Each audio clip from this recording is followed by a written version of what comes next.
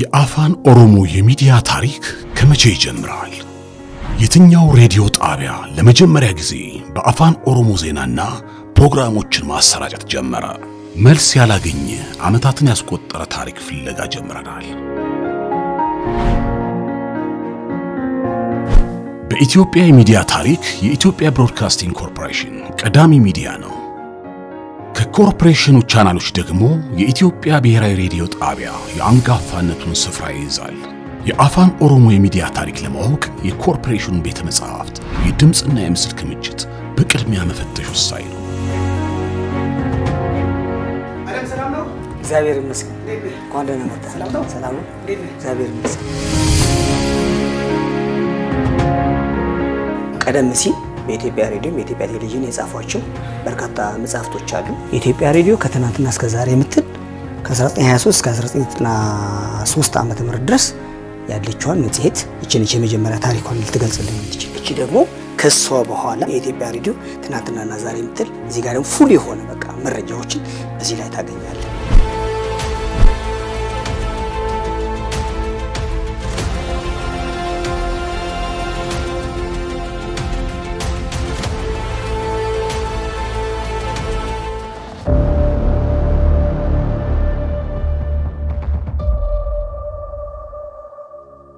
ከኢትዮጵያ ቋንቋዎች አፋን ኦሮሞ ከፍተኛ የተናጋሪ ቁጥር ካላቸው ይመደባል። ቋንቋው የሚዲያ ቋንቋ ለመሆን ግን በርካታ ዓመታትን ለመጠበቅ ተገዷል።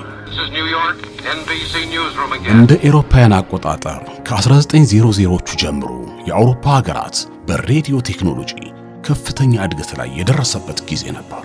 ምዕራባውያኑ ሬዲዮን ለዜና ምንጭነት ለመረጃና ለመዝናኛ ከመጠቀም አልፎ ለኮሎኒያሊዝም በአጋዥነት መጠቀም ችለዋል። Radio played a crucial role in military operations. Communication between troops and commanders was often done through radio, and radio broadcasts were used for propaganda. ጣሊያንም በአድዋ ላይ ከተሸነፈች ከ40 ዓመት በኋላ በ1928 ዓ.ም ዳግም ኢትዮጵያን ስትወር ያሰማራችው ዘመናዊ ሰራዊት ብቻ አልነበረም። ዓላማዋን ለማሳካት ሚዲያን በስፋት ትጠቅማለች። የአፋን ኦሮሞ የሚዲያ ታሪክም ከዚህ ይጀምራል።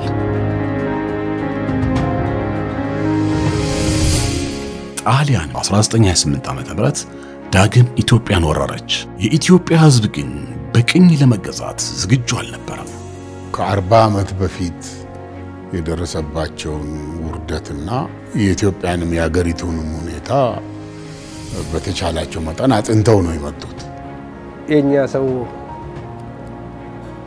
ቁጭ ብሎ አልተቀበለው። ቤቱን ወገኑን ቤት አስቀምጦ ለራሱ ግን ወታደሩን ይዞ ጭፍራውን ይዞ ጫካ የገባበት ጉዳይ የራስ ምታት ነው የሆነበት። ይህም ማህበረሰብ በተለይ ቻላቸው መጠን ከጎናቸው እንዲሰለፍ ለማድረግ ብዙ ሞክረዋል ማለት ነው። ሙከራ ካደረጉት ሙከራ ውስጥ አንዱ ቋንቋው በሬዲዮ እንዲተላለፍ የማድረግ ፖሊሲ ጀመሩ። በጣሊያንኛና በሌሎች ቋንቋዎች አፋን ኦሮሞ፣ አማርኛ፣ ትግርኛ በእነዚህ ቋንቋዎች ስርጭት የጀመረው ግንቦት 1 1929 ዓ ም ነው። ጣሊያኖች ከአቡነ ጴጥሮስ ስርጭት ሲጀምር በሬዲዮ ጣቢያው የሚሰራጩ ፕሮግራሞች ጠላት እንዳሰበው ሕዝባዊ አመፁን ማቀዝቀዝ አልቻለም። ይልቁንም ሲያሰራጯቸው የነበሩት ባህላዊ ዘፈኖች አርበኞችን የሚያበረታቱና ቁጭትን የሚፈጥሩ ነበሩ። ሲምቢሮ ሙከረ ቴሴ ረምባ ረምባ ጎቴ ባለራ ፈረንጂን ሰላሌ ጬቴ ጆርጋ ጆርጋ ጎቴ አበራ አበራ ኢልመ ጢጌዳ ማል ጎዳን ጊዜዳ ጀቴ ሎሌኒ ሎሌ ማለት ታጋይ ማለት ነው። ምክንያቱም ጊዜ ነው የበላን። ከአርባ ዓመት በላይ በፊት በልተናችሁ ዛሬ ልትበሉን መጣችሁ። ምክንያቱም ብዙ ሰዎች መስዋዕት ሆኖበታል።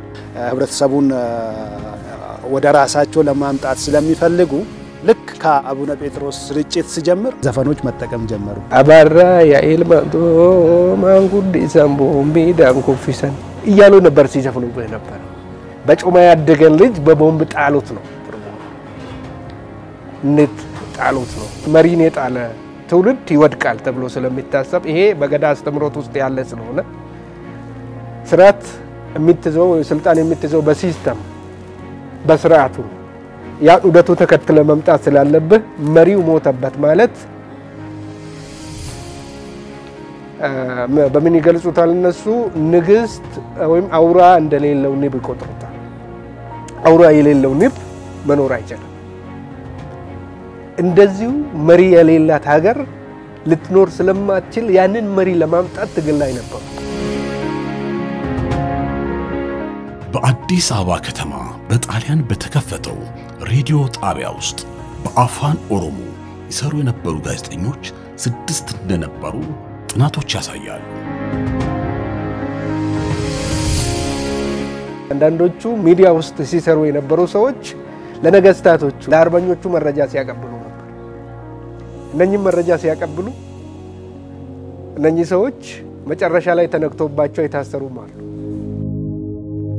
በአፋን ኦሮሞ የሚዲያ ታሪክ ይህ ከ1929 ዓ.ም እስከ 1935 ዓ.ም ከአዲስ አበባ ይሰራጭ የነበረው የሬዲዮ ፕሮግራም የመጀመሪያው ተደርጎ ይወሰዳል።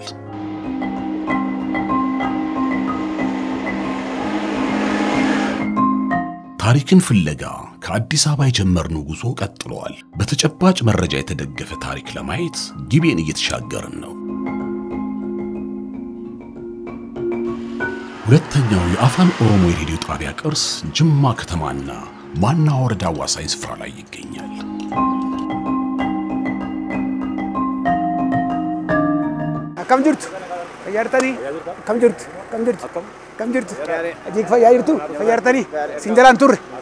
ta'u ጅማ ሬዲዮ ጣቢያ ሸንተ ሬዲዮኒ ነው የሚባለው።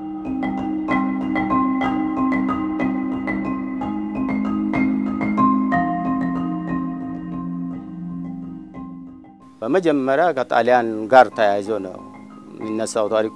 ጠላት የሬዲዮ ጣቢያውን የገነባው በወቅቱ ከንጉሱ ጋር ቅራኔ ውስጥ የነበሩትን የጅማ ሀገር ገዢ የአባ ጅፋር የልጅ ልጅ አባ ጆብር አባ ዱላን ይሁንታ ለማግኘት ነበር። ጣቢያው ስርጭት የጀመረው በ1930 ዓ.ም እንደነበረ መረጃዎች ያሳያሉ። የመስተዳደር ክፍሉ አለ፣ የአመራሩ ክፍል አለ፣ እንዳ- እንዳለ ደግሞ የጋዜጠኛው ክፍል አለ፣ ስቱዲዮ አለ ማለት ነው። ያኔ የነበረው ሬዲዮ አንዱ ጅማ ሙዚየም ነው ያለው።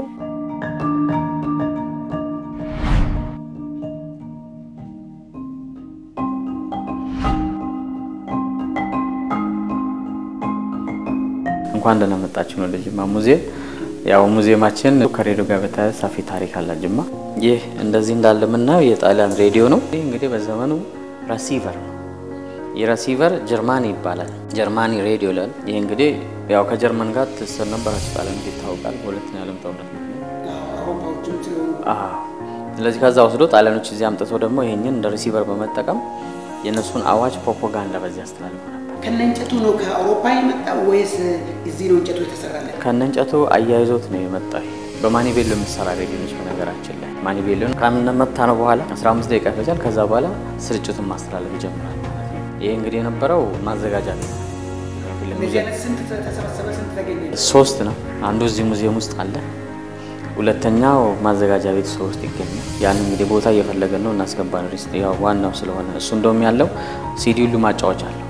ሶስተኛ በአባጅፋር ልጅ ልጆች ቤተሰብ እጅ ይገኛል። እሱም እንደዚህ አይነት ተመሳሳይ ነው ማለት ነው። ትልቅ ነው ሬዲዮ ትልቅ ነው። አንድ ቦታ ይቀመጣል። ማስተላለፊያ ስፒከር፣ ትልልቅ ስፒከሮች አሉ። ከቤት አናት ላይ ማሰራጫ አለው። ከተማ ውስጥ በተለያየ ቦታ ላይ አለ። ህዝቡ ተሰብስበው ይሰማል። እዚህ አካባቢ ያለው ህብረተሰብ ማለት ነው ከዚህ ከሸዋበር ከዚህ ከፈረንጅ ናዳ እዚህ ነው ሰብሰብ ብለው ሰው የሚያዳምጠው ማለት ነው። ሬዲዮ እዛ አናቱ ላይ እዛ ላይ ነበር ማለት ነው። በኦሮምኛ ያስተላልፍ ነበረ፣ በጣሊያንኛ፣ በአረበኛ ያስተላልፍ ነበረ። በዛ ወቅት ባህልን ማሳደግ ላይ ይሰራል፣ ቋንቋን ማሳደግ ላይ ይሰራል።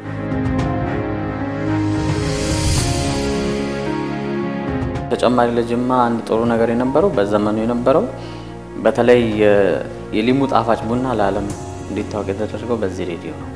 ጣሊያኖች ፕሮፓጋንዳን አዋጅንም ከማሳለፍ ተጨማሪ የ entertainment ን promotion ን ይሰሩ ነበር እና በዘመኑ በዚህ ለዓለም የጅማን ቡና ማስታወቅ ምክንያት ሆናል።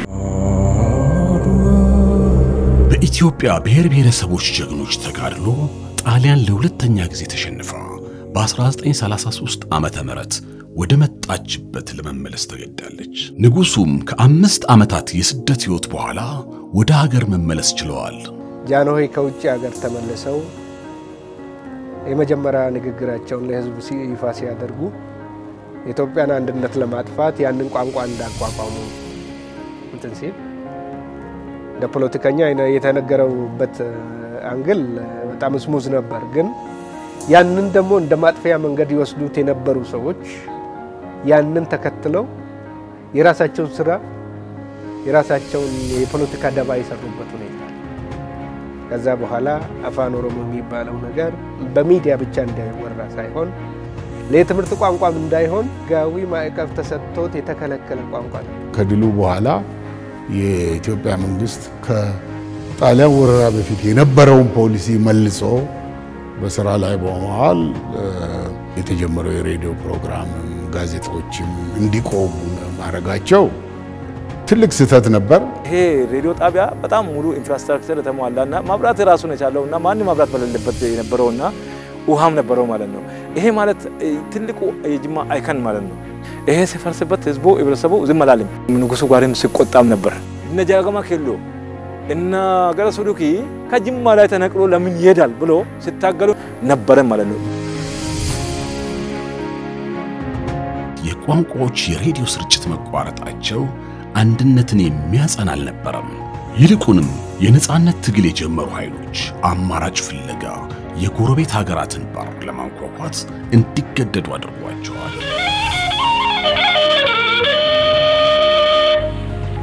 በ1950ዎቹ ውጭ ሀገር የተማሩ ግብፅ ሀገር ላይ የተማሩት ሼክ መሐመድ ረሻድ አብዱላ የሚባሉት የአፍረን ቀልመው ሰው እኚህ ሰው በቀን ለ15 ደቂቃ የኦሮምኛ ቋንቋ እዛ ከሚማሩት ሶስት ጓደኞቻቸው ጋር በመሆን ይህንን በዚህ ቋንቋ ኦሮምኛ እንዲተላለፍ ያደርጉ ሼክ መሐመድ ረሻድ እና የተወሰኑ የግብፅ ምሁራን ወደ ሶማሊያ ሄደው ለሶማሊያ መንግስት አንዳንድ ሙያዊ እገዛ እንዲያደርጉ ታዘዙ። ያ ደግሞ ሌላ እድል ይዞላቸው ነው የመጣው። የእኛ ቋንቋ በጣም ብዙ ህዝብ ነው ያለን፣ ግን ቋንቋችን የሚዲያ ቋንቋ መሆን አልቻለም እና ለምን አትፈቅዱልንም ብለው ለሶማሊያ መንግስት ጥያቄ ያቀርባሉ።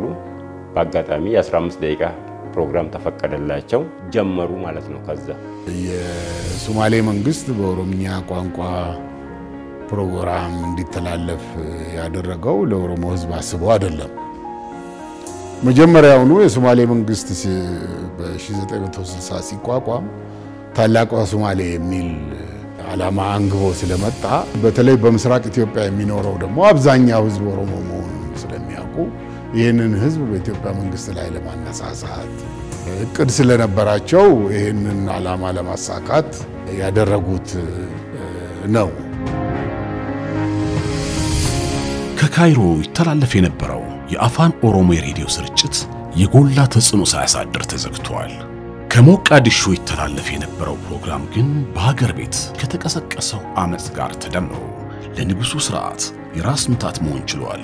የባሌውን የኦሮሞዎች ትግል እና የኦሮሞ አቦ የሚባለው እዛ የተቋቋመውን ዋቆ ያሉበትን ትግል አፋፍሙት አፋፍሙት። በቃ ከመንግስቱ እጅ መጀመሪያ ቀድሞ የወጡት ይሄ መረጃ የነበራቸው ናቸው። ባለ አርሲን ጭምር የሚተላለፉ ፕሮግራሞች ስለ አጼው መንግስት ጭቆናና አንዳንድ በደሎች ላይ ያተኩራሉ በብዛት።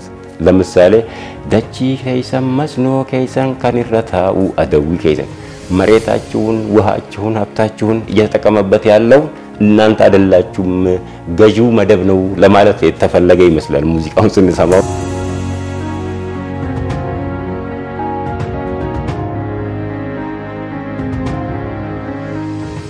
ንጉሡ ሕዝቡን ለማረጋጋትና ከሞቃዲሾ የሚተላለፈውን ፕሮፓጋንዳ ለመመከት በ1957 ዓ.ም በሐረር ከተማ አዲስ የሬዲዮ ጣቢያ ከፈቱ።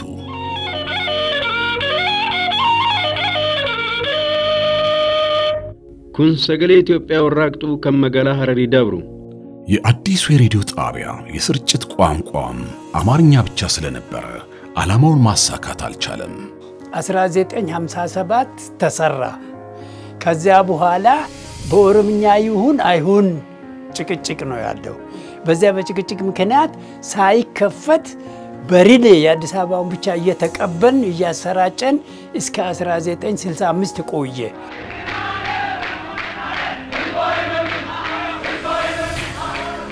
የሕዝብ ቅሬታና ተቃውሞ በየቦታው እየበረታ ሲመጣ ንጉሡ ጥቅምት 21 1965 ዓ ም ሐረር ሬዲዮ ጣቢያ ውስጥ የአፋን ኦሮሞ ስርጭት እንዲጀመር አደረጉ። የዜና አገልግሎት አባል ሆኜ እዛ ሲሰራ አለቃዬ አበበ አንዱ ዓለም ይባላል። እሱ ጋር ቆራ ብዬ ጋሸበብ አልኩ። የኦሮምኛ ፕሮግራም ሐረር ሊከፈት ነው አሉ። ለማገልገል ፈልጋለሁ በቋንቋዬ ምናልባት እዛ ሄጄ ብሞክር ትለቁኛላችሁ ወይ ትፈቅዱልኛላችሁ ብዬ ተገኝቶ ነው ካገኝና አንተን የምታድገት ቦታ ከሆነ ግባበት አለኝ። ፈተናውን ጨረስ። የሐረር ሬዲዮ ፕሮግራም ኃላፊና ጋዜጠኛ ሆነ ትሄዳለህ ያሉ። ስርጭቱን ያስጀመሩት ሦስት ጋዜጠኞች ነበሩ። ሶስታችን እኔ፣ ኩማዬ ደኤ፣ ተመስገን ገመዳ ሶስታችን ነን። ቅዳሜ ነው ከአዲስ አበባ ሐረር የገባ ነው። ፕሮግራሙ መቼ ነው የሚከፈተው? ረቡዕ። ረቡዕ ምንድን ነው ደግሞ በዛን ቀን የንጉሠ ነገሥቱ የነገሱበት ቀን ነው፣ ጥቅምት 23 ለዛ ፕሮግራም ማድረስ አለብን። እንግዲህ በተቻለ መጠን ሁላችንም ኦሮሞ ብንሆንም የተለያየ ቃላት የተለያዩ አነጋገርና accent ኦች አሉ። ምን ይባላል ያ ምን ይባላል ተባብለን ፕሮግራሙ በዛኑ ቀን ተከፈተ። ህዝቡ ሬዲዮ ስለሌለው አንደኛ ፈረስ መጋላ ራስ መኮንን አዳራሽ ፊት ለፊት ትልቅ pole አለ፣ loud speaker አለ። እዚያ ስር ይሰበሰባሉ። ተሰብስቦ ያዳምጣል። ሸዋ በሪ ደግሞ ትልቅ ማይክሮፎን አለ። ወላዬ ከተማ የመጣው ገበሬው ምኑም እዚያ ያዳምጣል። የሐረር ሬዲዮ ጣቢያ የሕዝቡን ቋንቋ ባህልና art ለማሳደግ የተጫወተው ሚና ትልቅ ነው። በታሪክም ከሀገር ውስጥ በአፋን ኦሮሞ በማሰራጨት ሦስተኛ ሚዲያ ተደርጎ ይመዘገባል። iddoo sululaa gaaraa bilqaasim jedhamu asirra hojjechaa jirra. Uummata dambaliin baafnee asirratti hojjechaa waan jirruuf anaa reediyoon caqasaadha. Oduu addunyaatiif ka biyya keessaa ka Afrikaallee caqasaa deemu karaatti nagartanii. አንደኛ ቋንቋውን እንዲያዳብር፣ ታሪኩን እንዲያውቅ፣ ማንነቱን እንዲገነዘብ፣ ንቃተ ህሊናው እንዲዳብር ትልቅ ሚና ተጫውቷል ይሄ ሚዲያ። ከዛም አልፎ የመንግስት ፖሊሲዎችን የመንግስት ስትራቴጂዎችን ከማስረጽ አንጻርም በጣም ትልቅ ሚና ሲጫወት የቆየና ሲጫወት የነበረ አሁንም ያለ ሚዲያ ነው። የሐረር ሬዲዮ የህዝቡ አካል ሆኖ ነው አብሮ የኖረው። ለምን ቢባል የህዝቡን interest ነው የሚያወራው። የሚያጫውታቸው ዘፈኖችም ከህዝቡ ውስጥ ነው። haramatu abbaa kiyya caqasa abbuma kiyya irraa hin dhaale sa'aa jaarratti Jaafar Aliitii fi akka Abdulaam Mahammad akka Alfee Abdul Wahaab akka Zakariyaa Amiyya kana hunda niin caqasa niin hordofa yeroo hundaa'u reediyoon anaaf reediyoon addaan hin baanu Odeessime Abdusalaam silalleetti dhugaa dhageeffatoonni keenya wanti nurraa eeggatan tokko lamaa miti. Dhuga baanta. Goofata fa'aa akka shaashaa goonee isaan bohaarsinuu warreen eeggatan ga'a. በተማሪዎች የተጀመረው ህዝባዊ ተቃውሞ የካቲት 1966 ዓ.ም በወታደራዊ መፈንቅለ መንግስት ተጠናቋል። ተነሳ ተራመድ፣ ክንድህን አበርታ፣ ለአገር ብልጽግና ለወገን በኩዴታ ስልጣን የተቆናጠጠው ደርግ የህዝቡን ይሁንታ ለማግኘት መጀመሪያ አካባቢ ከመለሳቸው ጥያቄዎች መካከል የቋንቋ ጉዳይ አንዱ ነው። ከጥንት ጀምሮ የነበረው የጭቆና ቅብብሎች አሁንም እንደቀጠለ ነው የሚል እንዲያውም በዚህ ርዕስ ስር የጭቆና ቅብብሎች የሚል አንድ በሰፊው የተበተነ ጽሁፍ ነበር እና አስታውሳለሁ። በዚያን ጊዜ ኮሎኔል ተካቱሉ የሚባሉ ይህንን ወረቀት ሄደው ለደርግ ስብሰባ ያነቡላቸዋል። ይሄ ሁሉ ሊሆን የቻለው የኦሮሞ ህዝብ የለውጡን አካሄድና የለውጡን ሁኔታ እየሰማ አይደለም፣ በቋንቋው እየተነገረው አይደለም የሚል ስለተነሳ ደርግ በዚያውን ጊዜ ከአዲስ አበባ በኦሮምኛ ቋንቋ ፕሮግራም እንዲተላለፍ ውሳኔ ያስተላለፈ ማለት ነው።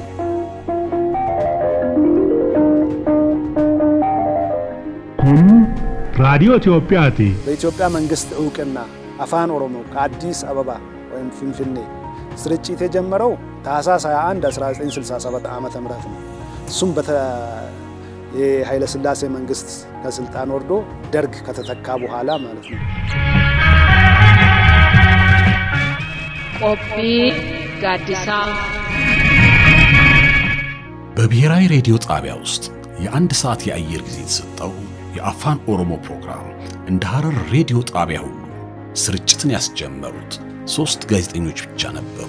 ከአዲስ አበባ ብሔራዊ ሬዲዮ የሚተላለፈው የአፋን ኦሮሞ ፕሮግራምም በአንጻራዊ መላ ኦሮሚያን የሚያዳርስ በመሆኑ በቀላሉ በርካታ አድማጮችን ማፍራት ችለዋል።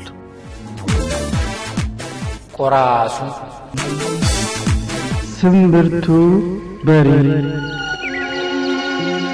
ከሐረር ከሚተላለፈው የሬዲዮ ፕሮግራም ጋር ተናቦ በመስራት የሕዝቡን ማኅበራዊና ኢኮኖሚያዊ እንቅስቃሴ በመደገፍ ረገድም የበኩሉን አስተዋጽኦ ማበርከት ችለዋል። እርስ በራስ እንዲተዋወቅ ለምሳሌ እኔ ሐረር ከሄድኩ ሐረር ውስጥ ምንድን ነው ማየት ያለብኝ? ሐረሪን የማያውቅ ሰው ሐረር የሐረር መገለጫው ምንድን ነው? ወይ ወለጋ ከሄድ የወለጋ መገለጫ ምንድን ነው? እንድንተዋወቅ ሀብቶቻችን ሰዎች እንዲያውቁት እንዲንከባከቡት ወደፊት ለሀገር ያለው አስተዋጽኦ ትልቅ መሆኑን እንዲረዱ ሲያደርግ የነበረ ተወዳጅ ፕሮግራም ነው ማለት ይቻላል። ጎባ አባ ጀላ ድውሳ ቀስናዳ እኛ ድኒ ዲሲ ጉና ቢበርጃዳ አንተ በምንጣፍ ስር ያለው እባብ ሆይ የመንግስትን ካዝና መቦርቦሩን ወይም መቦጥቦጡን ተው፣ ከህብረተሰቡም ጉቦና በርጫ ምናምን አትቀበል፣ የተጣለብህን ኃላፊነት በአግባቡ ተወጣ፣ ከአንተ የሚጠበቀው ይሄ ነው ነው የሚለው ሙዚቃውና በጣም ትልቅ መልእክት ያለው ዘፈን ነው። በዛ ስንጀምር በጣም ሰው ጆሮውን ሰጥቶ ነው ሬዲዮን ከፍ አድርጎ የሚያዳምጠው። በቃ ዛሬ የሆነ በቃ ሊያጋሉጥ የፈለጉት ነገር አለ ነው የሚባለው፣ ይታወቃል ማለት ነው። የምርመራ ዘገባ ነው የሚቀርበው በዛ ጊዜ። የህዝባችን ብሶት የወለደው ጀግናው የኢህአዴግ ሰራዊት ደርግ ሲጠቀምበት የነበረውን የአዲስ አበባ ሬዲዮ ጣቢያ ለሰፊው ህዝብ ጥቅም ተቆጣጥሮታል።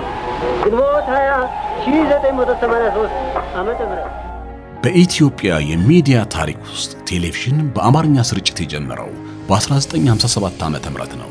የአፋን ኦሮሞና የትግርኛ ቋንቋዎች ግን ስርጭት የጀመሩት ጣቢያው ስርጭት ከጀመረ ከ26 ዓመታት በኋላ በ1983 ዓ.ም ነው። ኦነግ በዛ በኩል አለ፣ ኦህዴድ በዚህ በኩል አለ። እነኚህ ሁለት አካላቶች ትላልቅ አንጃ የሆኑ የትግል አካላት ናቸው። ብዙ ስራ የሰሩ በተለይ ሰፊውን ክልል ሰፊ ቦታ ከጠላት ይዞታ ነፃ ያደረጉ ናቸው። ኩሙሌቲቭሊ ሲታይ የነኝን መሰረታዊ ጥያቄ ካልመለስክ ትኩሳቱ አይችልም። ቻሌንጁ ከዛም ከዚህም ነበር። ለምሳሌ አሁን አፋን ኦሮሞ ስላልነበረ ምን ያስፈልጋል በቴሌቪዥን ያለው ራሱ በቂ ነውና አስፈልግ የሚል ነገር ሀሳብም ሲነሳ ነበር። የኦሮሞ ሕዝብ ደግሞ በዚህ ሚዲያ ካልተጠቀመ በየትኛውም ሊጠቀም ስለማይችል ይህንን opportunity መፍጠር አለብን የሚል ሀሳብ ነው የነበረው። ትግረኛና ኦሮምኛ በአስቸኳይ ሰዎች ፈልጋችሁ አየር ላይ መውጣት አለባችሁ ተባል። ኦሮምኛ ቴሌቪዥን ውስጥ ስለሌለ ሬዲዮን አንባቢዎች ናቸው ያሉት። ሳሙኤል ዳባ እና ኢሳያስ ወርዶፋ፣ በድሪያ መሐመድ፣ የዮሐንስ ዋቆ ይዘን አምስት ሰዎች አመተን መስራት ጀመሩ።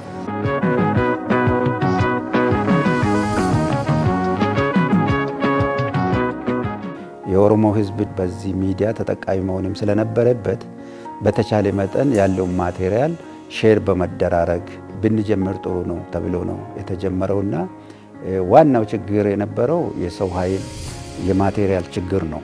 ለአምስት ስድስት ቀን በአስር አስር ደቂቃ ዜና ዜናዎቹ ደግሞ ይሄ ሰኔ ነው። በዛ ውስጥ ያሉ ውዥንብሮችና ተደረጉ እየተባሉ የሚመጡ ነገሮችን clear ማድረግ። ሁለተኛ ጉባኤ እንደሚካሄድ በውስን material አማርኛ የሰራውን እየሰሩ ከመንግስት የሚመጣውን እየተረጎሙ እንዲሄዱ እየተረጎሙ እንዲያስተላልፉ ተደረገ። በአንድ ሰዓት ውስጥ ዜና ፕሮግራም እና ዘፈኖች እያቀላቀል የጀመር ነው። ዜናም ያነባሉ፣ interview ይሰራሉ፣ ሪፖርት ይሰራሉ። ለአንድ ነገር ይመጣ ይወጣል። አንድ ጋዜጠኛ የራሱን ፕሮግራም ይሰራል። ቆይ ይቺ ለመዝናኛ ትሆናለች፣ ለመዝናኛ ይሰራል። ይሄ ዜና ይሆናል፣ ለዜና ይሰራል። ይሄን ስራ ብሎ ማንም አስገድዶ አይደለም።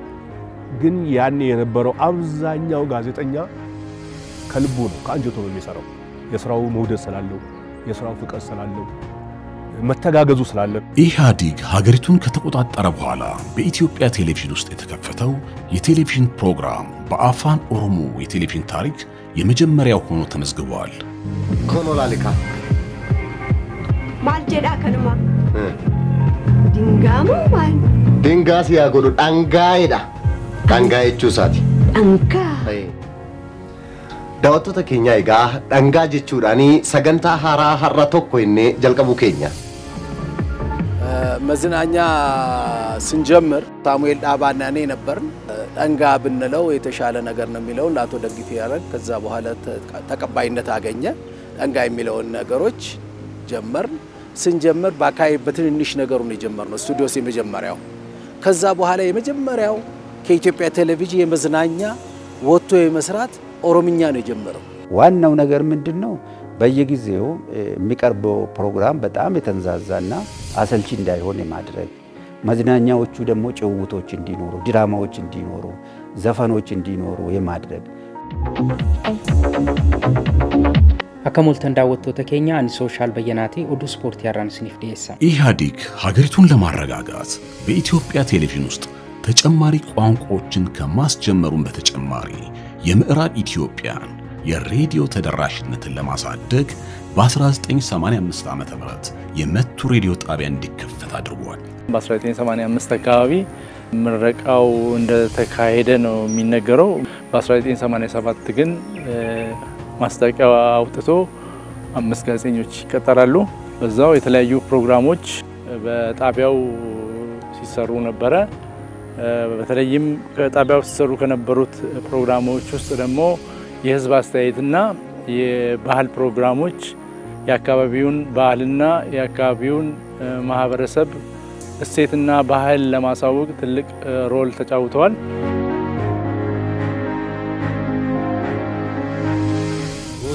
raayyaa ittisaa keenya humna waraana diinaa magaalaa Zalanbassaa keessa ture barbadeessuudhaan magaalaa Zalanbassaa guutummaan guutuutti to'annaa jala oolche. Injifannoon diina keenya irratti argamee sabaaf sablammoota kana keessaa uummata bahee irratti hirmaate ta'uu isaa kan mirkaneessuudha. የቴሌቪዥን ፕሮግራሙ የተመልካችን ቀልብ ለመሳብ ጊዜ አልወሰደበትም።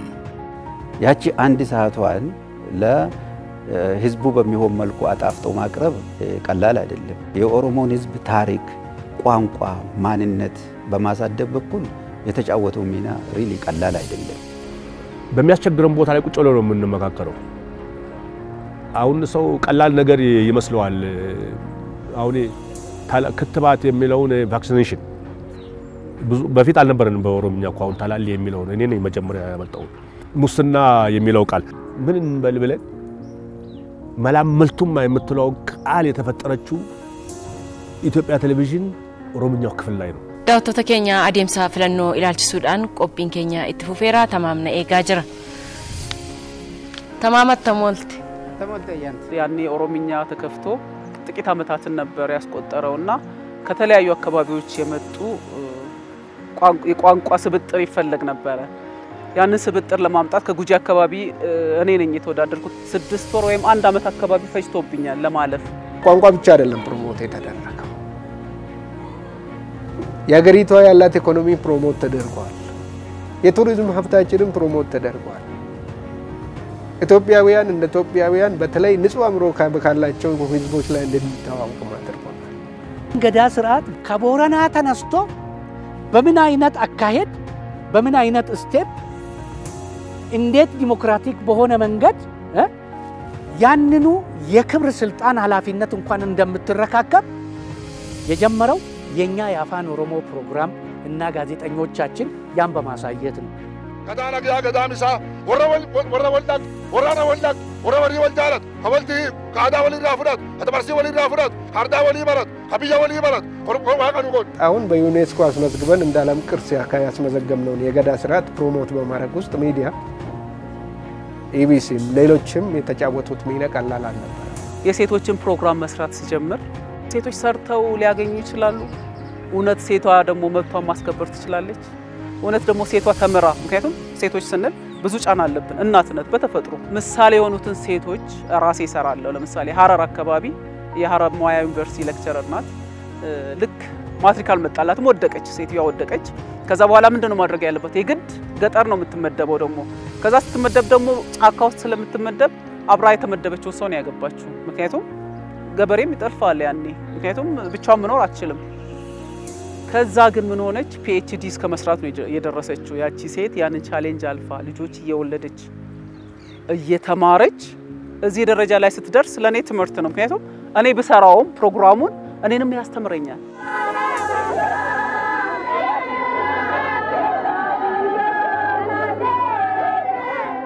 ሴቶች ስለ መብታቸው የሚጠቀሙበትን የማህበራዊ ተቋም የሲቄ ተቋም የሚባለው እንዲተዋወቅ ነው የተደረገው። በሌላ በኩል ለህይወት ዋጋ የሚሰጥበት የራሱ ዊዝደም አለው። ይሄ ህዝብ ጉማ የሚባለውን ስርዓት እንዲተዋወቅ ተደርጓል። Lammuu ooyiruu guddisaa lammuu ooyiruu guddisaa jechaa lagatti nammanii jedhama. Kan jedhee qoosaa xalayaa kan nuuf erge ammuyyee adaam mana adabaa አምቦራቲ ገለተውም ጀናኒ ሰው ስለ ድሎቱ አይደለም ልትነግረው የሚገባው ስትሰራ። ህይወቱ እንዲሻሻል ከፈለግ ማተኮር ያለብህ የጎደለው ህይወቱ ላይ ነው። እልም ያለ ገጠር ውስጥ እንገባለን፣ በመከራ እንገባለን። በወባ ታሞ እዛ የሚተኛ በሽተኛ አለ፣ እዛ የሚተኛ ህፃን አለ፣ እዛ የምትተኛ እናት አለች ታማ፣ ኬሚካል አለቀ ወይ መድኃኒት የለም ይላሉ። ሰው ግን እየተሰቃየ ነው። እዛ ስታዩ ታካሚዎች ገንዘብ ለመክፈል በር ላይ ይቆማሉ። ገንዘብ የሚቀበላቸው ሰው የለም። ገንዘብ የሚቀበለው ሰው ይተውና ካፌ ቁጭ ይላል። ምንም ነገር ሳይሰራ የምሳ ሰዓት ይደርሳል፣ ትቶ ይሄዳል። ገበሬዎቹን ተበተኑ ይሏቸዋል። መንግስት እኮ ለህዝቡ አገልግሎት እንዲሰጥ ነው ያን ሆስፒታል የሰራው። ባለሙያው ያን ሊሰራ ነው እዛ ጋር ያለው። በቃ አቦ ይሄን ብቻ ነው የኔ ስራ በቃ አጨቅጭቀኝ የሚል ባለሙያ ሁሉ ነበረ። እኛ መጠና አቦ አጨቅጭቀኝ ያለውን አብረን ነው አየር ላይ የምናውለው። ይህን ስትሰራ ጥቅሙ ያን ላሰራው ሰው ነው፣ ለመንግስት ነው የእርምት እርምጃ እንዲወስድ። ግን ቁጣ ያስነሳል ብዙውን ጊዜ እንደዛ አይነት ነገር። ሄሎ ሄመት አነ ጅብሪል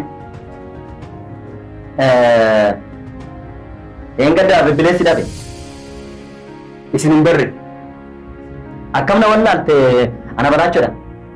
oo okay maal sin gargaaru Qormaata biyyoolessaa barana sin biratti kennamu isin biratti fudhachuun qajeele. Anis haati manaa kiyyas. manni barumsaa keenya sadarkaa tokkoffaadha Waan kana si malee namni biraa akka hin dhageenye. እንደ መታደል ሆኖ ደግሞ እኛ መጨረሻ ላይ ከተማሩት የተቀጠሩት እነ ወርቁ ጋዲሳ ሌሎችም ሌሎችም ድርሰትን የመድረስ ወደ ድራማ ገጸ ባህሪም አክት የማስደረግና የማሰልጠን ችሎታ የነበራቸው በደንጋ ላይ በእነኚህ ጉዳዮች ላይ በጭውውት መልክ ሶስት አራቶቹ ገጸ ባህሪ ተፈልጎላቸው ድርሰት ተሰጥቷቸው እዛች ላይ ወጋ የምታረግ ሶስት አራት ደቂቃ ህዝብን የሚያነቃ የሚያሳውቅ አጫጭር ነገር ይሰራ ነበር። ከዛም አልፎ ጎበዝ ጎበዝ ጋዜጠኞች እነ እንሴኔ መኩሪያ የምርመራ ጋዜጠኝነት አማርኛ ላይ አይናችን እንደምንለው ያንን የሚመሳሰል አምጥቶ ሰርቶ ይሄ ነገር ነውር ነው፣ ከመንግስት ፖሊሲ ውጪ ነው፣ ይሄ እንዲህ ተደርጓል ብሎ የሰሩ በጊዜው ለምን እንዲህ ተደረገ ተብሎ የተጎዱ አሉ።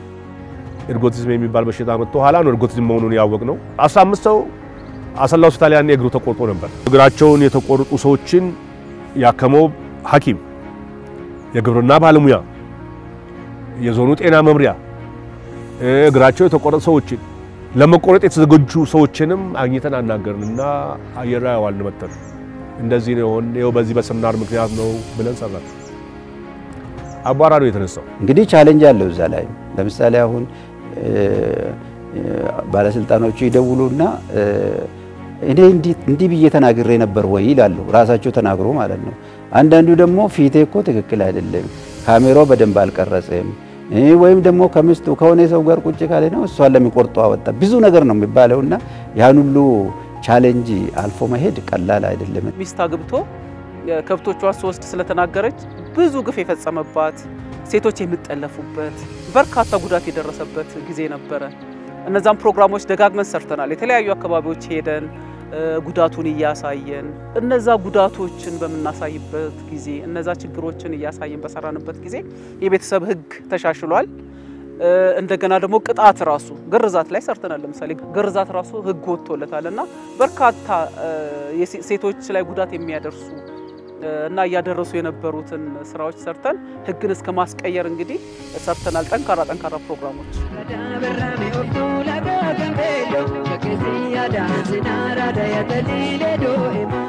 የኦሮሚያ ዋና ከተማ አዳማ ይሆናል ተባለ።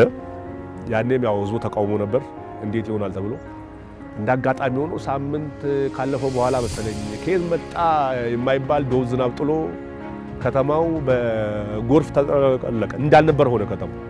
አበሳ ዋቅጅራ የሚባል ጓደኛችን ነበረ፣ እሱ ሄዶ ሰራ። ይኸው ዋና ከተማችን አዳማ በጎርፍ እኮ እንደዚህ ሆነች። እንዴት ሆና ነው አሁን እቺ ዋና ከተማ የምትሆነው?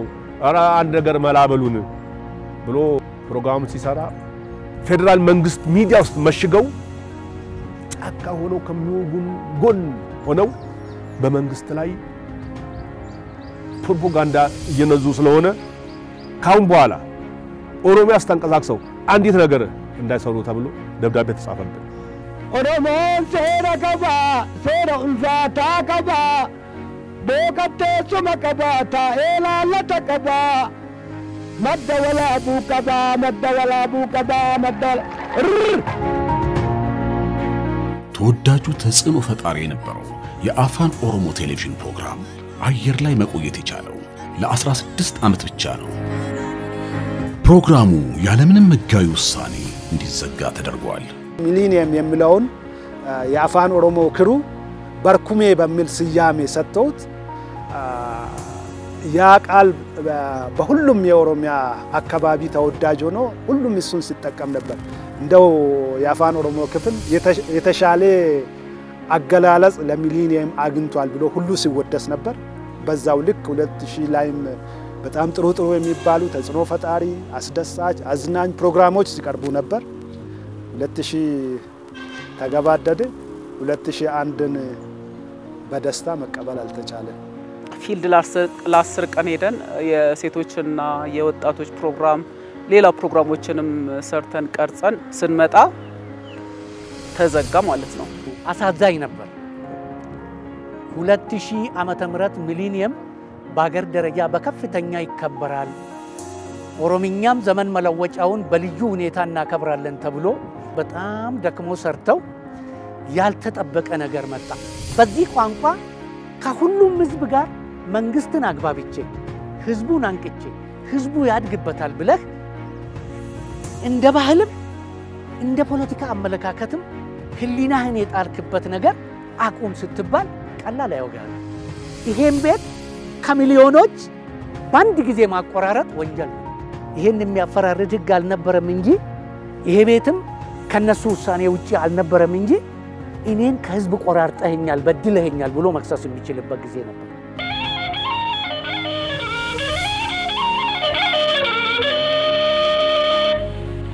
kun sagalee Itoophiyaa warraaqxuu kan magaalaa Hararii dabru የአፋን ኦሮሞ የቴሌቪዥን ፕሮግራም ከተዘጋ ከአራት ዓመት በኋላ በ2004 ዓ.ም መጨረሻ ላይ ሌላ ስህተት ተደገመ። በምስራቅ ኢትዮጵያ ተደራሽና ተወዳጅ የነበረው የሐረር ሬዲዮ ጣቢያ እንዲዘጋ ተደረገ። ከ half century በላይ ለህዝብ እያገለገለ የኖረ ሬዲዮ ድንገት አንድ paragraph ደብዳቤ ሳይኖረው የተዘጋበት ምክንያት አንድ paragraph ሳይኖረው ነው በአየር ላይ ዝም የተደረግነው። በጣም ኢፍትሐዊ ነው፣ ህገ ወጥ ስራም ነው። በአዋጅ የተከፈተ ሚዲያ በስልክ ትዕዛዝ አዘግቶ እኛን መበተን ህገ ወጥ ድርጊት ነው። ሀገሪቷን ለሌላ ቀውስ ነው የዳረጉት። ያ ቀውስ ደግሞ ከብዙ ጥፋት በኋላ ለውጥ እንዲመጣ ነው ያደረገው። ለውጥ መጣ።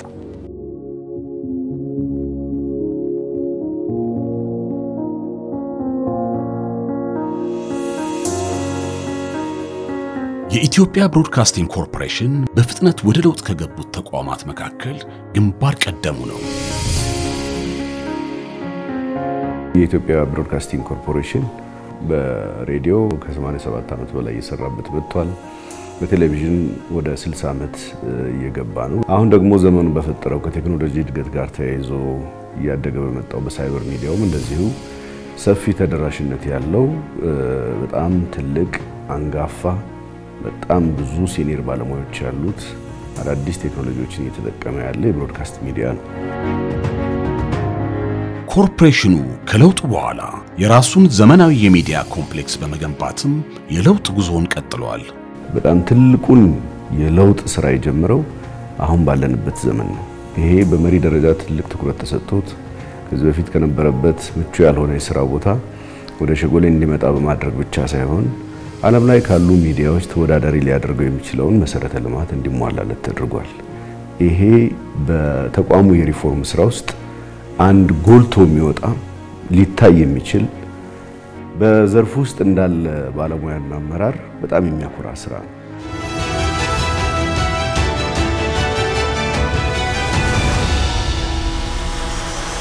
ኮርፖሬሽኑ አየር ላይ ያሉ ፕሮግራሞችንም ይዘት አሻሽለዋል። አሁን እየተሰራ ያለው በአጠቃላይ እንደ ኢቢሲ የእኛም ትልቁ ትኩረት አድርገን እየሰራን ያለ ነው። ስምንት ቻናሎች አሉን። አምስት የቴሌቪዥን እና ሶስት የሬዲዮ ቻናሎች አሉ። cyber media ው አለ። እነዚህን outlet ኦች በተሟላ መንገድ የይዘት ሪፎርም የማሻሻል ስራዎች እየሰራ ነው የምንገኘው። ስለዚህ ለውጦች አሉ፣ ተጀምረዋል። በተለይ ደግሞ ከ60ኛ ዓመቱ ጋር አያይዘን ደግሞ የበለጠ ትኩረት አድርገን እየሰራንበት ያለ ነው።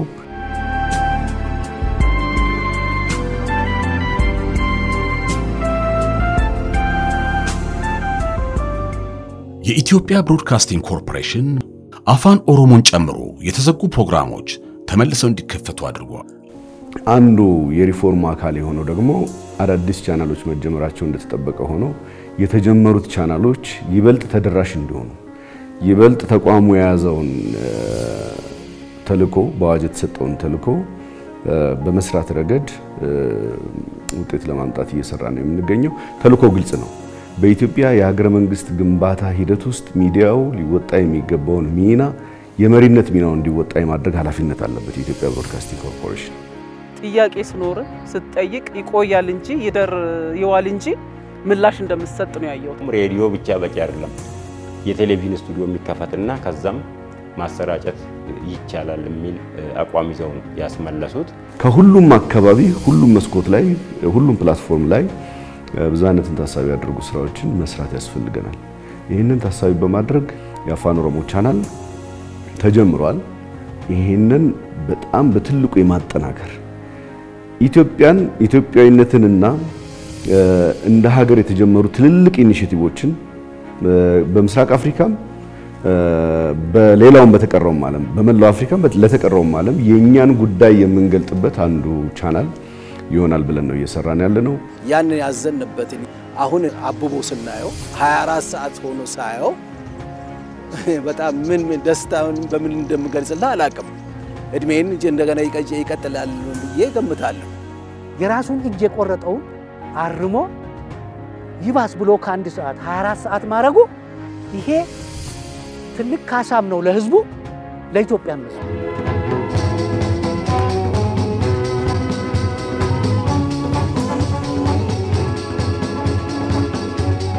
ከዚህ በኋላ በሚኖረው ምዕራፍ የኢቲቪ አፋን ኦሮሞ ቻናል አዳዲስ ድራማዎች፣ በጣም ስታንዳርድ ያላቸው የመዝናኛ ፕሮግራሞች፣ ዜና በጣም ሰፊ ሽፋን የሚሰጥበት የቀን ዜናዎች፣ የጠዋት ዜናዎች አዳዲስ የሚጀመሩ የ morning show ያለበት የምሽት ዜናዎች በስፋት በወቅታዊ ጉዳዮች ላይ ሰፋፊ ትልልቅ ትንታኔዎች የሚሰሩበት የምርመራ ዘገባዎች የሚሰሩበት documentary ዎች የሚሰሩበት በአጠቃላይ በኢትዮጵያ ሀገረ መንግስት ግንባታ ሂደት ውስጥ ትልቅ አስተዋጽኦ ሊኖረው የሚችል ጠንካራ ሚዲያ ሆኖ እየመጣ ነው። ስለዚህ አድማጭ ተመልካቹ ከኛ ጋር አብሮ የሚሰራበት ባለድርሻ አካላት ከኛ ጋር የሚሰሩበት ሁኔታ ይፈጠራል። ለዚህ በእኛ በኩል ዝግጅታችንን ጨርሰን ለመገለጥ የመጨረሻው ምዕራፍ ላይ እንገኛለን። ከዛሬ ጀምሮ በአፋን ኦሮሞ የኢቲቪ ቻናል አዳዲስ ፕሮግራሞችን ያገኛሉ ተመልካቾቻችን። በሌሎች ቻናሎች የምናስተላልፋቸው እንደተጠበቁ ሆኖ ይህም አንዱ ትልቁ አማራጭ ሆኖ ይወጣል ማለት ነው። ስለዚህ ተመልከቱን ማለት ነው የምፈልገው።